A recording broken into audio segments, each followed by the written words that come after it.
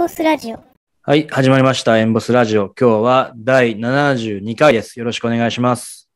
お願いします。お願いします。はい、えー毎度かわ、毎度ですね、えー相変わらずの3本撮りの3本目ということで、えー今回も、えー水島淳に来てもらってお話を聞いていきたいと思います。よろしくお願いします。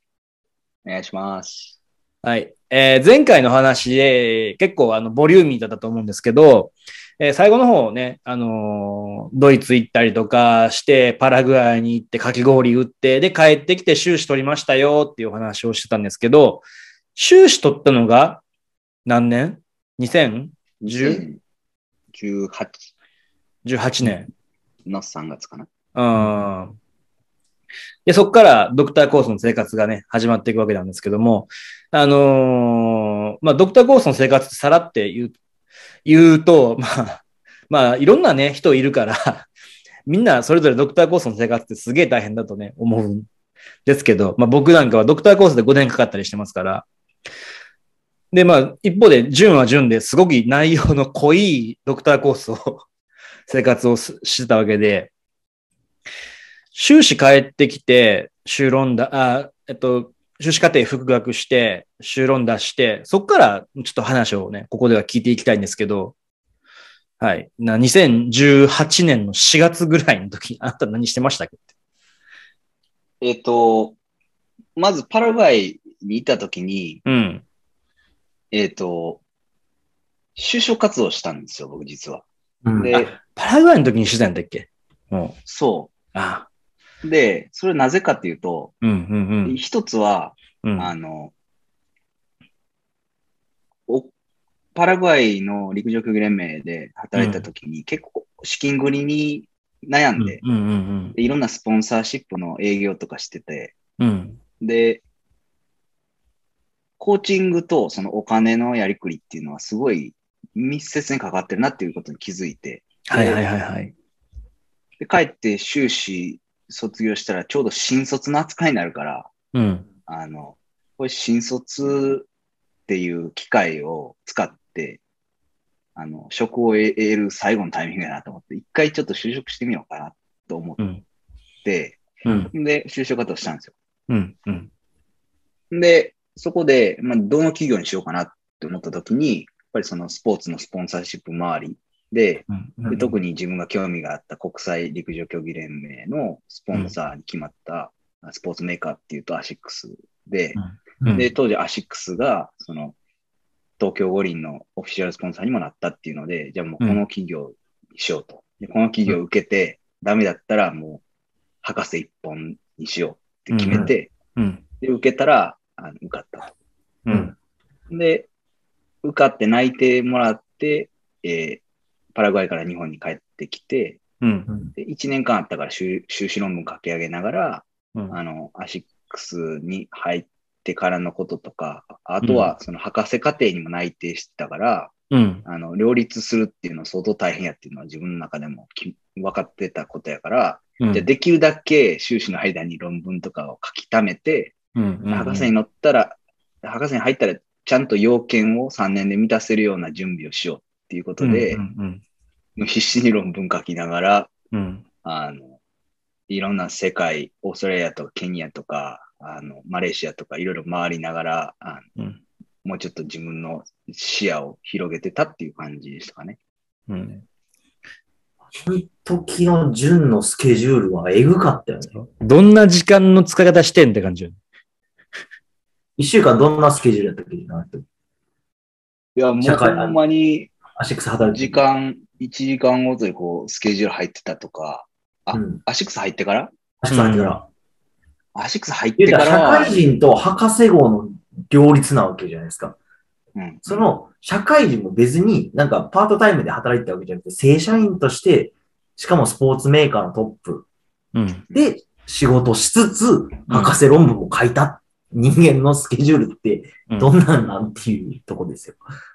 でもまずそのアシックスの僕グローバルヘッドクォーターにいて、本社に行ったから、うん。あの、で、スポーツのマーケティングを担当していて、うんで。世界中のアスリートたち、陸上競技のアスリートとサッカーのアスリートね、それを担当してたから、うん。日々、あの、アメリカからヨーロッパからアフリカから、オセアニアからみんなとやり取りする中で、例えばアメリカやったら早朝からミーティングが入って、うん。でヨーロッパやったら、まあ、よ夜な夜の方にミーティングが入ったりして、うん。とにかく一日中、携帯が鳴りやまないみたいな生活をして、で、まあ月からあ金までバタバタと働いて、金曜日の夜終わったら夜中夜行バスに乗って、で、うんつくばに行って、で土曜日着いて、うん。で、研究集中して、土日やって、で、当時1年目授業があったから、月曜日に。うん。で、ひそれでアシックスの有給もらったりとか、あとは、うんアシックスの仕事って土日の試合とかにアテンドする時があったから、うんそれを、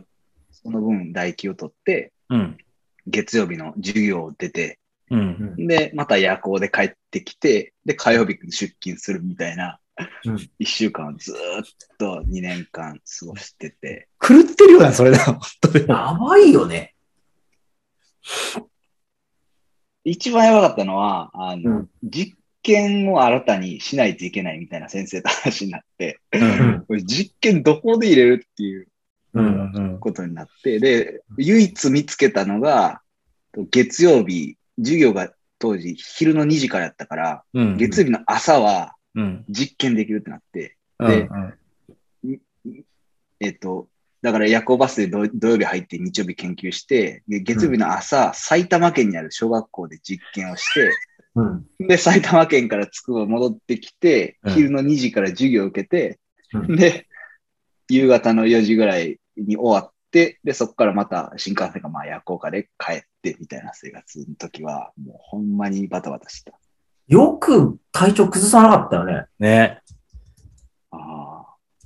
そうやな。もう気緩む暇がなかったから逆に、え、その間全然心身に不調なく過ごした？全然不調はなかったけど、太ったな。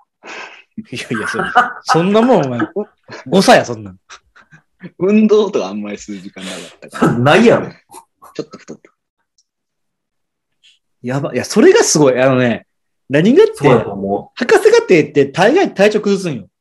う。うん普通の人っていうか、俺もそうやけど、大概体調崩す中で普通にやってたよ。まあ、俺もまあ普通じゃないっちゃ普普通じゃないんだけど。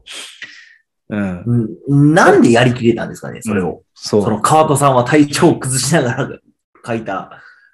まあもしかしたら移動距離で言ったらそれ以上の動きをしてる順は。だって間にケニア行ったりとかしてたやんか。うん。にもかかわらず、なぜやりきれたんですかね、その2年間。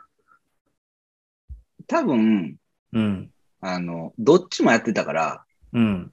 最悪どっちかダメになってもどっちかで生きていけるやろっていうのはあったんやと思う。セーフティーネットとして。おだからアシックスでもうめちゃくちゃ倒れて、もうダメだってなったらもうアシックスやめて研究だけ集中すればいいし、う。んん。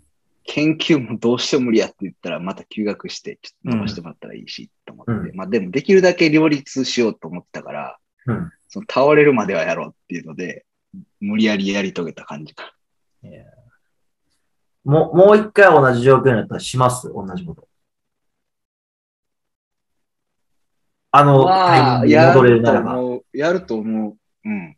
どっちもやっぱりすごいいい経験やったし、しかも29の時点で博士も終われたっていうのは、うん。うんなかなかいい、いいなと思う。その35とかからもう一回博士行くとかなると、うん。ままあたいろんなライフステージも変わってきたりとか、うん厳しいけども、あの時期に両方やってたから、あの、社会人経験というか、まあ就職、一般企業での仕事も経験できて、さらに博士もちゃんと取れたっていう意味では、あああれが良かったかなって。うわぁ。えぐいっすよね。働きながらね、学位取るってね、なかなか、なかなかなんですよ。しかもそれが修士じゃないからね。うん。博士号ですから。スケジュールの割き方とかね、本当に、なんだろう。まあ、まあ、じ自分のことはあんまり 俺は思い出したくないんだけど、クソきつかったから。でもやっぱしかもその、当時のメンタルの強さやろうね。うん。どっちかダメで当時も、まあ、生きていけるやろ、みたいな。うん。あとその何、授業が当時コロナの前やったから、うん。あの、リモートって普通じゃなくて、うんうんうん。けど、その、あある授業では、金谷体育大学と遠隔授業を一緒にやってるみたいな授業はいはいはいはいはい。あれね。あのややってたのはやってたんやんか。やってたね。けど、あの、僕が頼んだ時に大学に、僕も神戸からリモートに参加していいですかって言ったら、ううんん。いや、君は筑波大の方に入学してるからちゃんと来なさいって言われて、うんで、夜行バスで行ってたんやけど、うん。今思えば全然遠隔でもできたなって思う。まあ、できたよね。それはそうだ。そこだけ、そこだけちょっと楽になったかもやな。そう。そうっすか。そんなのを経て、で、結果今シンガポールにおられるわけですけどられるわけですね。この後ですよ、この男がどうなっていくかっていうのは。いや、この行動力をもってしてね、次どうなるかって話ですよ。30歳迎えたわけですけど、うん。まあ、純の場合は31歳の抱負も含めてになるのかもしれないんですけどね、この前誕生日だったんで。どうですかね、今後の展望は。そうね。だから、あの、足、ちょうど博士、コーチング学で博士を取得するタイミングでアシックス辞めて、うん。うんで、まあ、コーチング、コーチ育成の分野に戻ってこようと思って、うんいろいろ職を探して、うん。大学の職ももちろんずっと、まあ、夢見てた大学教員の職っていうのも,、うんもう探したんやけど、うん。まあ、タイミングではなくて、でうん。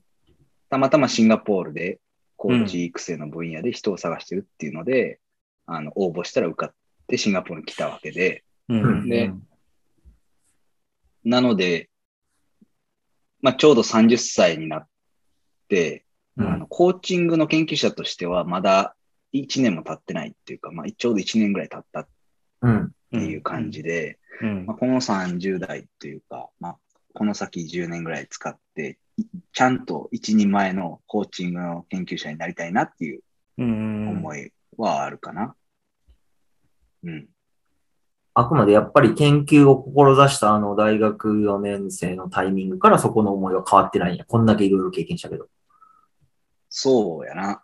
ただなんか、あの、アシックスでのグローバルなネットワークとか、パラグアイの経験とか、今の仕事も活かして、例えば、あの、陸上やったら世界陸連、うん。国際陸上競技連盟とかのお手伝いをさせてもらったりとか、まあ今もしてるんやけど、うん。うん。うん。あとは、あの、いろんなスポーツ組織とか企業とかうんも、あの、コンサルティングとかで手伝いながら、自分のあ研究も進めていくっていう形が取れたら一番いいかなってうん思ってるな。あくまでこう、研究一本に、研究は一番大事だけど、それ一本にはならないぞと。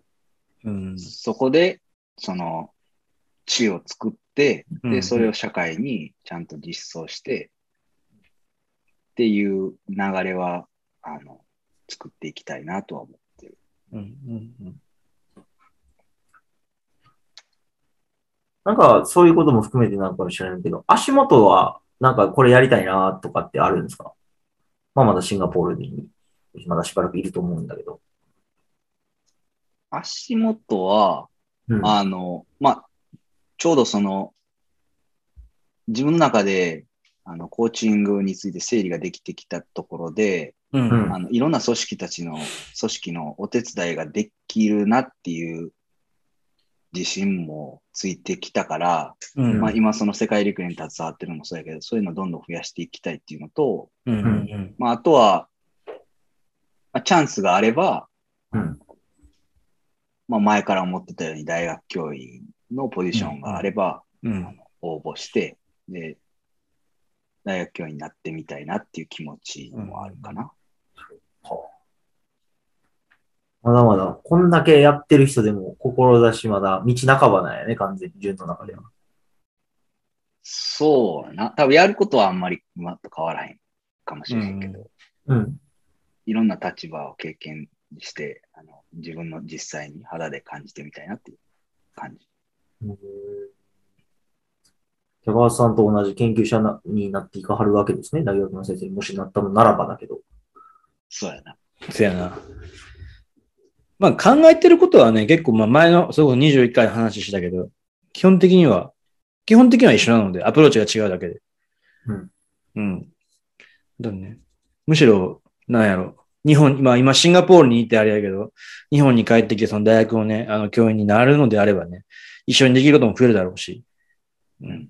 様々なアプローチで、俺もやっていきたいとは思ってるのでね。そうなった時はね、こう、エンボスラジオ初の論文をお共同研究をやれたらいいかなって。うん。あの、そういう話になるよね、本当に。まあ、なるよね。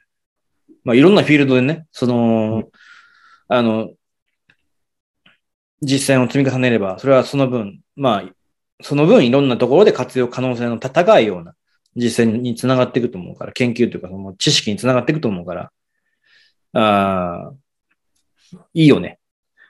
いいよねって言われだけど。それで言うと、純とそのさ、今さ、陸上からも離れてるわけよ、言ったら。うん。やっぱりやりたいのは陸上なの。うーん。基本的にオープンやけど、うん。陸上にはまあ特別な思いを持ってるっていうか。うん。やっぱ自分がやってきたスポーツだしっていうところ。うん。なんで、なんか手伝えることがあったらい、いつもこう、顔出してる感じ。うーん、陸上の方がね。うん。そうっす。で、まあ、あと、その、まあ、このエンボスラジオを聞いてても、すごい、多分、筑波のネットワークやから、国際的に活躍されてる人たちいっぱいいて、うん。で、まあ、スポーツ分野ってまだまだ、あの、世界に出るっていう人はいなくて、うん。いや、いる、いるんやけど少なくて、う。うんん。まあ、そういう、あの、外に出たいっていう若者がいたら応援したいなっていう気持ちで、まあうん今そういうトランキーっていうコミュニティをやってるんやけど、うん。それもぼちぼち続けていけたらなとうん。思ってるな。まあだから、そこは、ある種のなんだろうね、全く別の枠として。でもやっぱりその海外とかそういう行動力の原生やっぱり気になって動いてるっていうところよね。うん。うん。一個歯車ずれてたらもう、京都で先生やってたわけだよね、きっと。そうやな。普通に行けば、まあ先生やってたと思う。うん。そうよね。完全にだって最初の話のところから言ったら、あまりにも変化が大きいかなって思うんやけどね。まあ、だそういう意味では、あの、その筑波の人たちがなんでそんなに世界に出てるかっていうのは、う。うんん。その外国人と触れる機会が多かったりとか、うん。あの、英語に触れる機会が多かったりするっていうのもああると思うから、うんそういう意味で地方とかでうんそういう、あの、グローバルな経験を持った人と触れ合う機会がない学生さんとか、高校生とかともうちょっと触れ合って、いろんな機会をうん。作っていければなとは思う。うん。やっぱり、ジュノはでも海外に出るっていうことには何かしらの価値があるっていうふうには思ってる。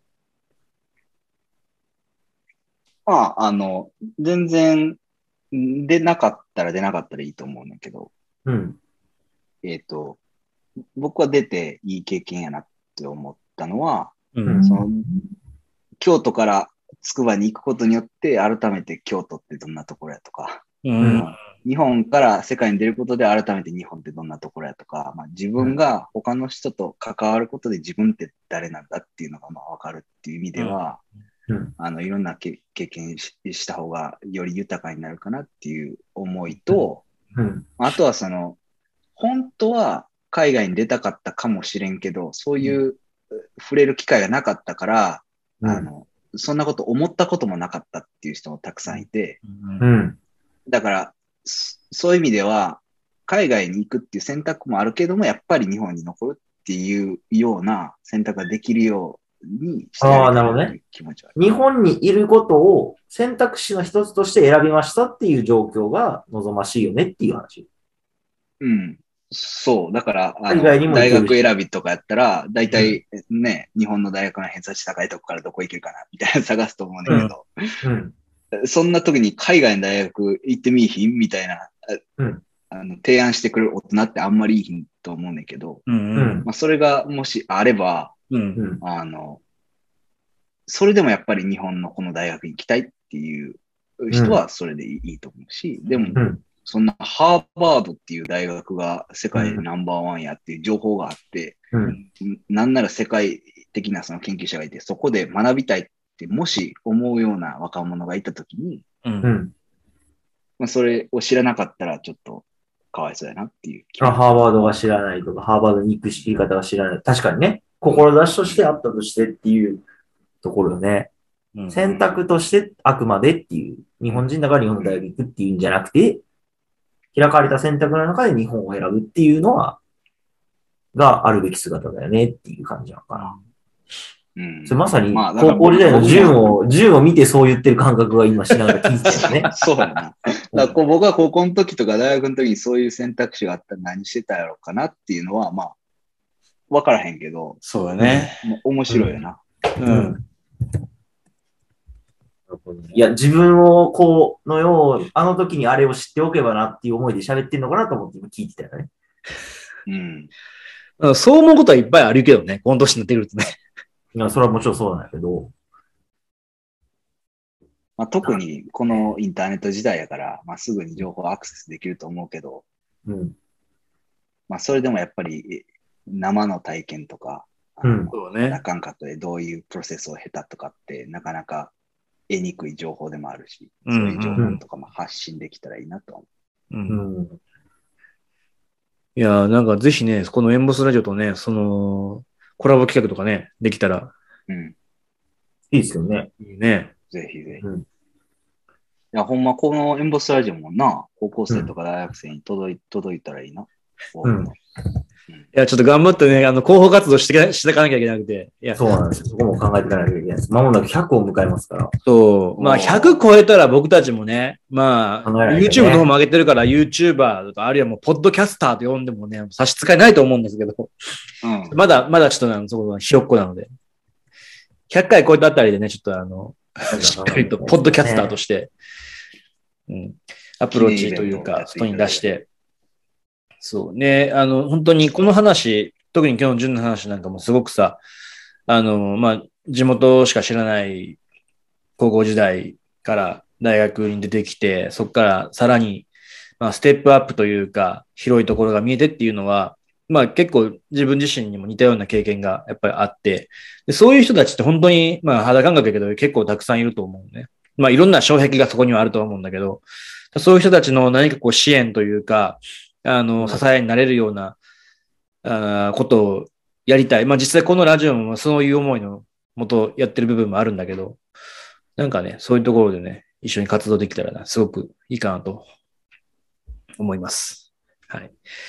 いや、本当今日は、あの、なんだろう、この、このスタイルのオリジナルを作った人をね、2回目読んでお話できたのはすごくね、良かったかなと思って。うん、やっぱ面白いね。うん、面白い。まあ、経験が豊富というか、なんというかね、まあ、ここまで来た人もいろんな経験がね、ある人たちばっかりで面白かったけども、またやっぱり、まあ、我々ね、あの、僕と春日さんがね、そういう、こういうスタイルでやろうっていうふうなきっかけ作った人なので、そう、やっぱ面白かったわね。やっぱり話面は面白い。ですうん。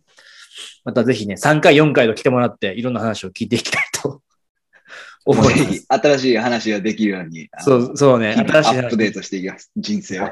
お願いします。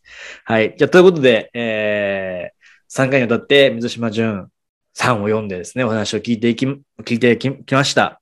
あの、また次回以降もこういったゲストを呼んで、えー、話を深掘りしていきたいと思いますので、えー今後ともエンボスラジオよろしくお願いします。ということで、えー第72回のエンボスラジオこの辺りでお別れしたいと思います。どうもありがとうございました。ありがとうございました。ありがとうございました。